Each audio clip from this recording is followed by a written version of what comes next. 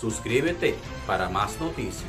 Amigos, te invitamos a que nos apoyes con un like. El coordinador de Sol de la Tarde, Domingo Páez, expresó que el expresidente Danilo Medina y presidente del PRD ha salido al ruedo con frases estridentes como cobrador y maldición para rescatar del potratismo y la invisibilidad al candidato presidencial Abel Martínez. Sostuvo que son frases señuelos para captar la atención, pero la gente no ve que lo que trata Danilo es de rescatar a Abel Martínez del otratismo y la invisibilidad que la lucha interna del PRD lo sometió por la alianza Cotó, manifestó que Danilo Medina sale a competir con el expresidente Leonel Fernández de la Fuerza del Pueblo y a competir con frases estridentes para que el mercado electoral vea a través de Abel Martínez. Gracias amigos por seguir esta noticia. Recuerda suscribirte, comparte este video.